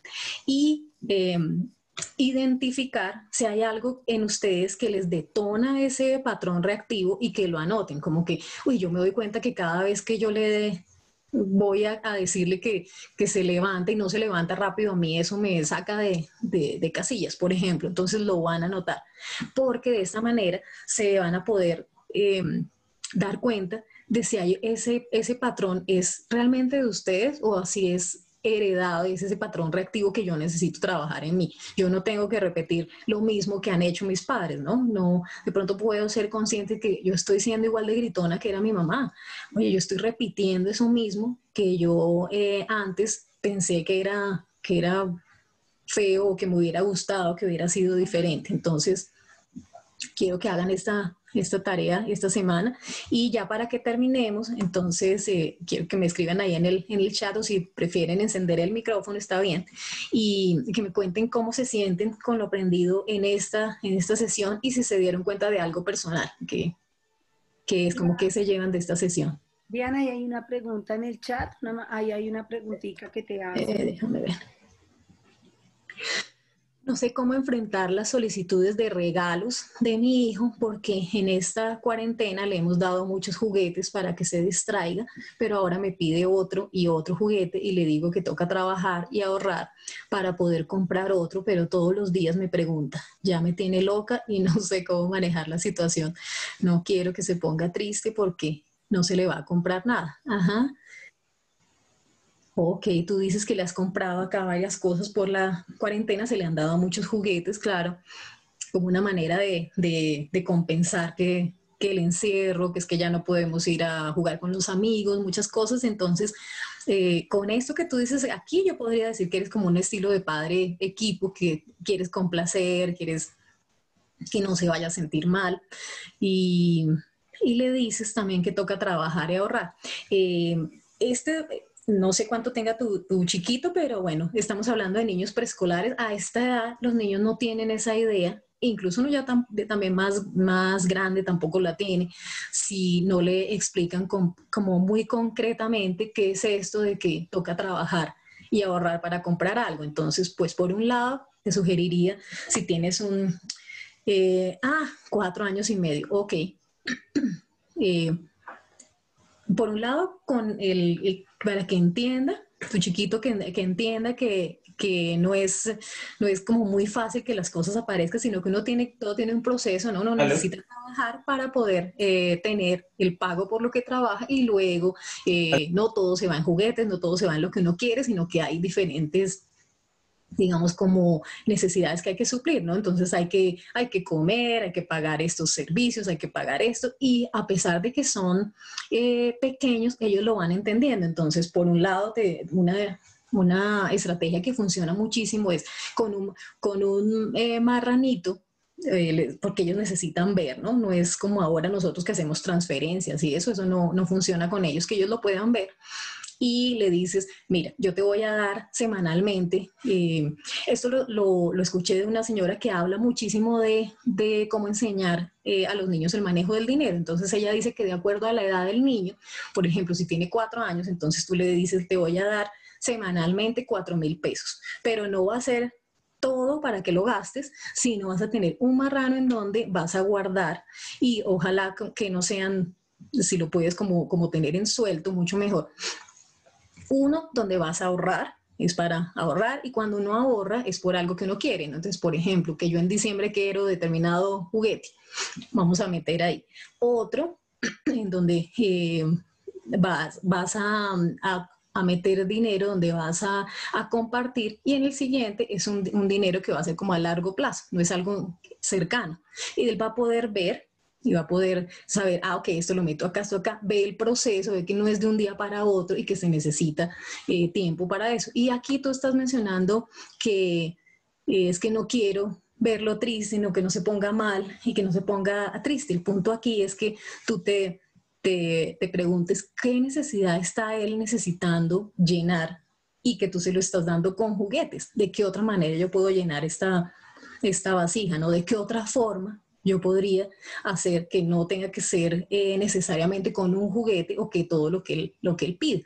Porque cuando vamos creciendo, necesitamos darnos cuenta que las cosas eh, tienen un proceso, ¿no? Es, eh, tú no siembras una semilla hoy y ya mañana tienes un, un árbol grande. Eso requiere tiempo y requiere paciencia y un, y un proceso. Y el punto eh, principal es por qué le estás dando tantos juguetes tan, tan seguido. ¿Qué tal si eh, lo importante y, que funciona muy, muy bien es tener estas, estas líneas claras? Y es, por ejemplo, los juguetes son un regalo, te los damos en tu cumpleaños y en Navidad. O bueno, digamos que quieres hacer otra excepción y dárselo en alguna otra oportunidad. Y eh, para ellos son muy, muy inteligentes, va, a entender que, mi amor, no te podemos estar comprando juguetes a cada rato porque recuerda que es para Navidad y para cumpleaños. O sea, tener muy, muy claras como estas, estas líneas. Y, perdón, no sé si eso, eso, queda, eso queda claro, como las líneas, las líneas claras y, que él vea que es, que es un, un proceso. Y Tú dices que yo no quiero que él se ponga triste y es revísate en ti, ¿qué pasa? ¿Qué pasa en ti que, está generando que tú quieras hacer eso, eso con él? Todo nos, nos refiere a, nuestra, a lo que ha pasado con nosotros, ¿no? a nuestras vasijas eh, fracturadas, lastimadas y, y muchas veces eh, uno escucha a los padres decir es que yo no quiero que mi hijo pase por esto porque, por ejemplo, yo viví escasez. Entonces yo le voy a dar todo lo que se le ocurra. Pero el punto es eh, qué le estás transmitiendo y qué es lo que, cuál es el mensaje que esto está dando.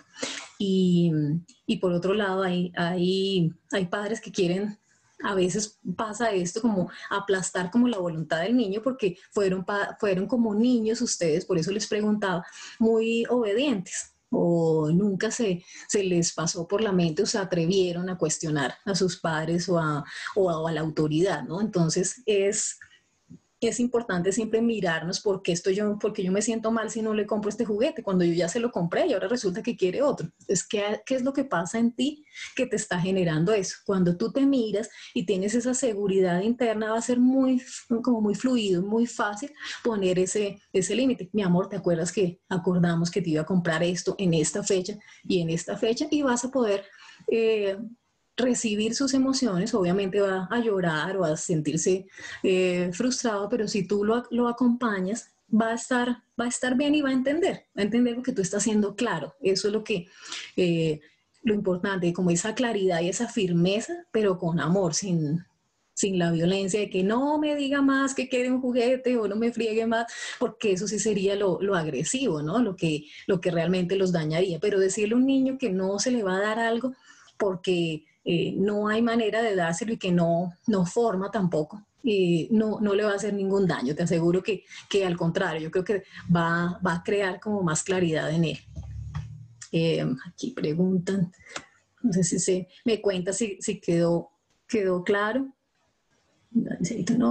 Sandra dice, ¿cómo volver a la rutina antes de cuarentena, se levantaban temprano, hacía deporte, estaba más activo, pero cada situación todo ha cambiado. ¿Cuál es la mejor manera para ir retomando, sobre todo en mi hijo mayor? Tiene 13 años. Esto de las rutinas es súper, súper importante, Sandra, súper importante, porque las rutinas les da a ellos eh, claridad de lo, que, de lo que viene después, ¿no? De que, ah, primero hacemos esto, nos levantamos más o menos entre esta hora y esta hora, luego desayunamos. Eso te da como, eso da como mucha tranquilidad y en la medida en que uno establece una rutina, eh, la eh, dinámica familiar se como que, que fluye y también se relaja. Eso, eso por un lado. ¿Y cómo hacerlo para, para volver a la, a la rutina? Tener tú muy claro qué es lo que quieres hacer. O sea, ¿a qué hora, por ejemplo, a qué hora necesito yo despertarme y levantarme? Básicamente, si yo quiero hacer esto y esto y esto y esto y esto. De esa manera te va a, a dar claridad mental en cómo establecer esa rutina y los niños te van a seguir los niños siguen muy fácilmente las rutinas cuando se resisten al comienzo, pero como eso les da orden, les da tranquilidad, les da esa seguridad de que saben que hay una estructura, de que hay un, de que hay alguien al mando en la casa, de que no es un barco a la deriva, sino que saben qué es lo que están haciendo, ellos se unen a, a la rutina muy fácil. Obviamente si llevan eh, despertándose temprano ya mucho tiempo y eh, pero despertándose tarde y, como más relajado pues se van a resistir al comienzo pero pero después lo van a, poder integrar eh, fácilmente. Y es muy muy importante aquí tú mencionas que, que hacía deporte y estaban más activos esto ojalá no, no lo dejes porque es muy importante tener esas actividades como de ir hacia afuera, de movernos, de bailar, de jugar, de caminar y actividades de ir hacia adentro, donde yo estoy eh, haciendo cosas más como más calmadas, ¿no? Como más relajadas, leyendo, dibujando, entonces poder eh, como nivelar y equilibrar estas actividades te va a dar mucha más eh, facilidad para establecer esas, esas rutinas. Eso puede ser otro, otro tema también de cómo, cómo son esas rutinas que nos ayudan como más, más fácilmente en casa, pero eh, bueno, me cuentas, me cuentas si ha quedado al menos como, como un poquito más claro y si te quedan algunas ideas de cómo hacerlo. Sí, la embarramos en cuarentena con tanto regalo. Muchas gracias. Ajá. Y, y, como todo, como siempre les digo, no se den palo, ya, ya lo que pasó, pasó, ya vamos de aquí en adelante. Antes no, no, no se había presentado, nunca ninguno de nosotros habíamos vivido una cuarentena, todos hemos hecho eh, cosas que, que lo, lo hacemos no por malo, sino porque tratamos de adaptarnos a la nueva realidad. Entonces es, bueno, Vamos a, tomarla con calma y qué podemos ir haciendo para ir corrigiendo, ir adaptándonos de nuevo a esta, digamos que reactivación, ¿no? Que es lo que está pasando. Eh, es muy interesante saber cómo manejar desde el estilo del niño y el estilo parental las acciones. Me llevo que tengo la combinación ideal de hijo cooperativo y padre equipo y qué estrategia hacer para poder llenarle las vasijas que le faltan para darle seguridad y no aplaste su individualidad. Me doy cuenta que si desde niño llenas las vasijas. Eh, luego serás un padre más equilibrado y darle a tu hijo un mejor proceso de enseñanza. Qué, qué lindo, muchas gracias. Y se ve eh, eh, como que has tenido esa claridad, que, qué chévere. Mi hijo también llora porque cometimos un error y le dimos, le dijimos que si quería un juguete debía comer o hacer caso y ahora cada vez que lo corregimos vuelve al tema del juguete, que no le vamos a dar el, juguete. Ajá. Aquí es súper clave que ojalá lo que ustedes... Em, eh, si, si, vieron esto de los límites que funcionan con los hijos y esto de las, de las consecuencias, es que pues que tenga relación, ¿no? A ver, como que qué relación tiene que si yo como esto, entonces voy a tener un juguete realmente no, funciona momentáneamente, pero no va a funcionar a largo plazo. Entonces, eh, la razón por la que debes comer frutas, verduras y de pronto cosas que no te agradan mucho es porque es bueno para tu salud, va a ser saludable. Y, y los niños desde chiquitos entienden muy, muy bien esos conceptos y, y no, ellos no son, son tan inteligentes que no se dejan, fíjate lo que les está diciendo, él, no se deja eh, manipular ni chantajear, entonces es como, bueno, ¿dónde está el juguete? Mi enseñanza es la identificación de mi estilo parental de equipo y la gran diferenciación de la madre, chévere y amiga que siempre quiero ser versus límites y reglas que se deben cumplir y aprender a elogiar diferente. Y llevo nuestra combinación equipo cooperativo y cómo mejorarla y nutrirla de lo bueno de los siguientes diferentes estilos parentales. Qué bien, sí, sí, sí, ojalá logremos de cada estilo parental rescatar como lo, lo, fuerte y, ponerlo en práctica. Qué bien, me llegó que logré identificar mi hay, hay, una pregunta acá que la enviaron por, por privado eh, que hace referencia a cómo eh, enfrentar el temor de uno como padre y que los niños se puedan eh, em, enfrentar a frustraciones, a equivocaciones. Cómo dejarlos ser más ellos, no tanto por lo que puedan sentir los niños, sino por lo que puede sentir uno como padre. Ahí debes mirarte, mirarte como padre, ¿no? Porque, bueno, de dónde viene ese miedo, ¿no? De, dónde es que yo, yo tengo como este, este temor, de dónde me viene. ¿Te acuerdan que hablamos de las, de las creencias limitantes y cómo es importante como revisar nuestros pensamientos?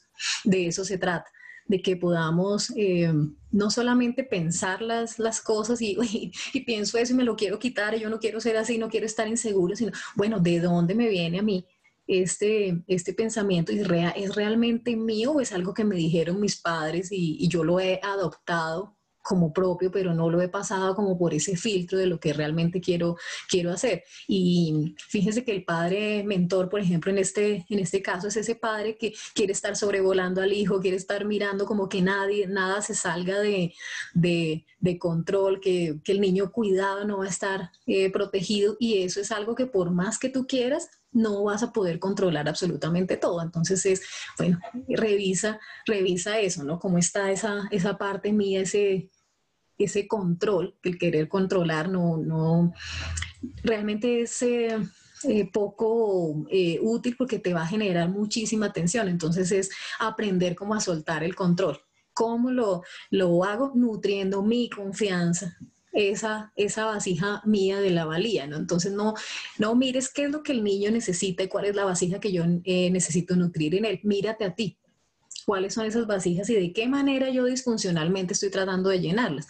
Yo me siento inseguro y entonces para llenarme y, que, y no sentirme mal, entonces evito que mi hijo haga algo que me hace sentir inseguro. Mejor que no se suba, que no trepe, porque qué tal que se caiga y eso me da mí inseguridad. Fíjate que, que otra vez regresa todo a nosotros mismos, no es el otro, es lo que, lo que me pasa a mí. Entonces, eh, lo, lo, que les, les, mencionaba y es que eh, lo que define nuestra, nuestra habilidad para enfrentar los, los retos es esa seguridad interna que, que tengamos. Entonces, eh, te diría, nutre esa confianza para que ganes esa seguridad, esa tranquilidad que, te va a dar el, sentir que, bueno, yo no puedo evitar que mis hijos eh, sufran, ¿no? Quisiéramos todos, pero no, lo podemos evitar. ¿Cómo lo, ¿Cómo lo hago cómo va a ser más fácil en la medida en que nutra esa, esa confianza personal?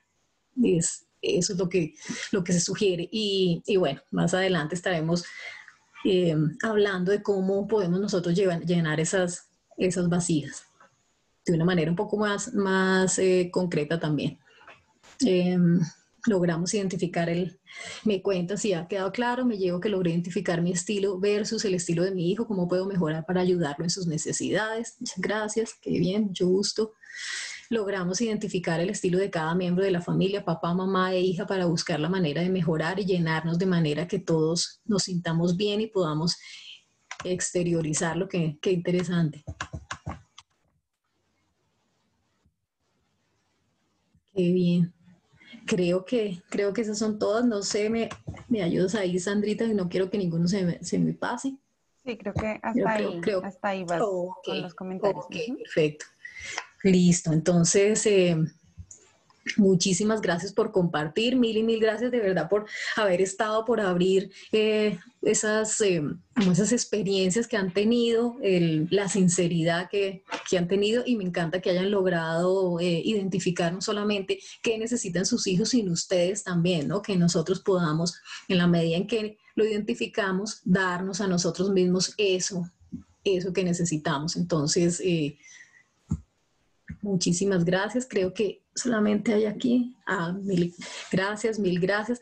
Con muchísimo gusto les voy a, enviar entonces esto para que lo tengan en, sus correos y, lo puedan revisar. Y, y bueno, nos vemos en la próxima sesión. Les mando un abrazo. Que descansen. Muchísimas gracias, Diana y papitos. Muchas gracias a todos, profes lindas, por la asistencia, a todas. Gracias. Claro que sí. Por este, espacio tan maravilloso que sacan para aprovechar para todos.